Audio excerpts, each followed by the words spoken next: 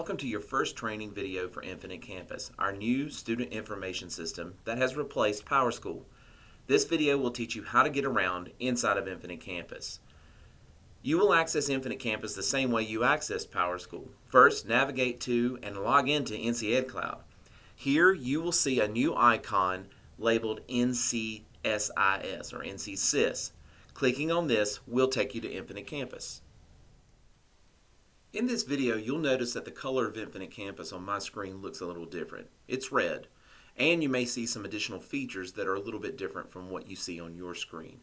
This is because I'm using a demo account to make this video. Once you've launched into Infinite Campus, you may land on a screen like this called the Message Center. The Message Center is where you will see messages displayed from the district level or from your school.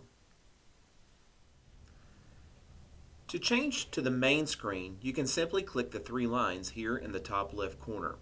We'll call this the hamburger menu. From here you can see different categories, instruction, student information, behavior office, communication, and my account. We're mainly going to stay in the instruction category. Here I can quickly switch from message center to teaching center. This is the main page for most teachers. You'll be able to use and see all of your course cards displayed here and you can do some quick features such as taking attendance or entering grades. Anytime you want to access tools in Infinite Campus, just click the hamburger to expand that menu. Next to the File folder menu, you'll see this star. This star is where we can favorite our, our most used tools. For instance, let's go back and go to Teaching Center because this is a tool that I'll use often. Once I have the Teaching Center open, you'll notice this little star here next to the title. If I click that, that will now be a favorited tool. And when I click on my favorites menu, here's Teaching Center for quick and easy access.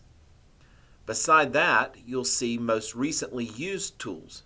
This will just display a list of the tools that I've used most recently, so that's another great way to find what you're looking for. Next to this hamburger menu, you'll see this magnifying glass. This is a powerful tool which allows you to search, specifically for students or tools. Let's say, for example, I want to search for a student. Type their last name first, for example, Newton, and that student's name will appear here. If I click on that student, it will load that student's profile. Here, I can see that student's home household information. Uh, if they have any specific medical needs, etc., that will all show up here on this screen. Then to the right, I can find additional information about this student, such as attendance, grades, and so forth.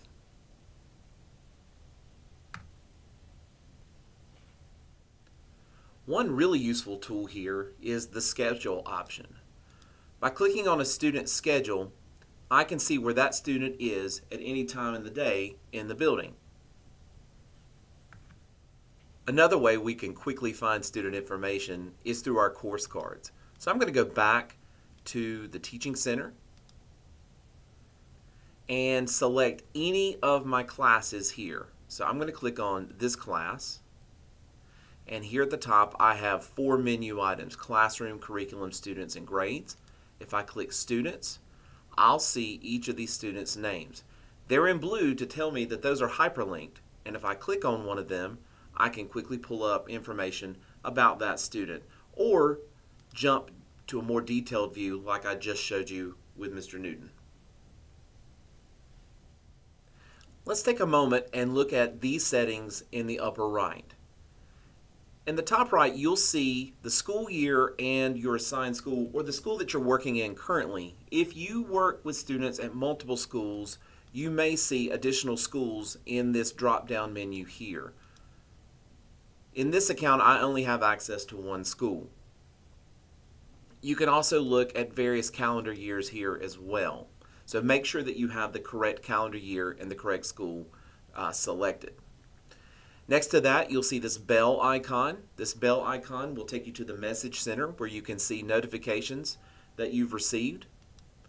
The question mark will take you to the knowledge base, which will load a completely different website.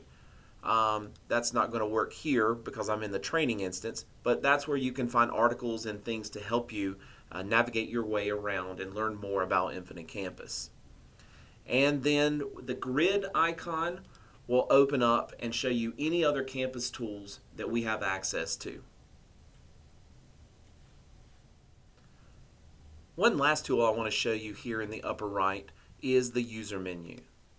Here you can customize settings related to your account in Infinite Campus. Let's jump over to instruction settings. In instruction settings, you can change how things are displayed. For example, if you want to show student pictures, you can do that. If they're available, they will show up. Take a moment to look through these and select any settings that you want to change. And then click Save.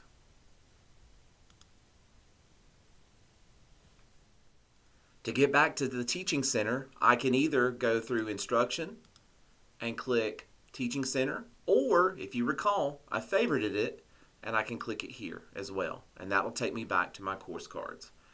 This is where we'll start our journey in the next video where we'll talk about taking attendance.